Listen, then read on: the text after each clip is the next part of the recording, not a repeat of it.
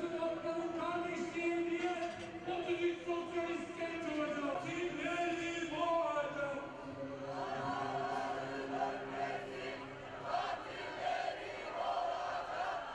diyorlar. Ve diyorlar ki bizler de buradayız. Bakın hep bizler sizi karanlığınızı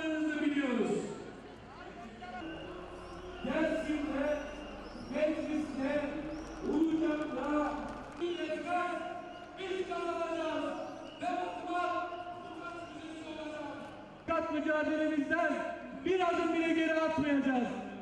Yeşim Özkan Nurcan Şahin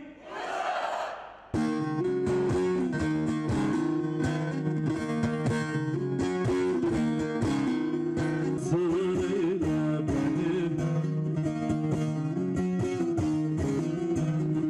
93'te sadece Madımak Oteli yanmadı, insanlarımız yanmadı. Türkiye'nin kendisi yandı ve insanlık yandı ve yanmaya devam ediyor. Onun için adalet diyoruz.